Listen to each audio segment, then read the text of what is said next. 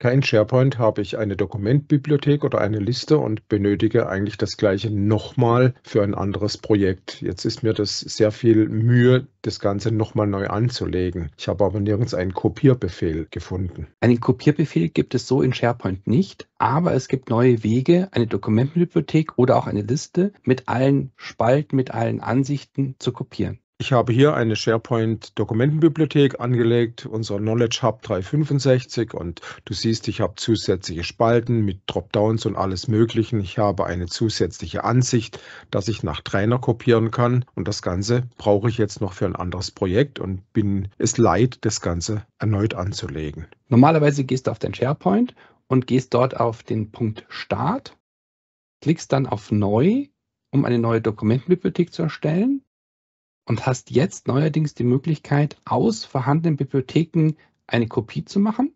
Wenn du da draufklickst, siehst du alle SharePoints, wo du drauf Zugriff hast, plus alle Dokumentbibliotheken und kannst jetzt eine vorhandene auswählen, die als Vorlage gelten soll. Klickst einmal auf Weiter, vergibst einen neuen Namen, klickst unten auf Erstellen. Dann dauert es einen ganz kleinen Moment, bis alles erstellt ist. Und jetzt siehst du schon, die Spalten Trainer und Inhalt sind da.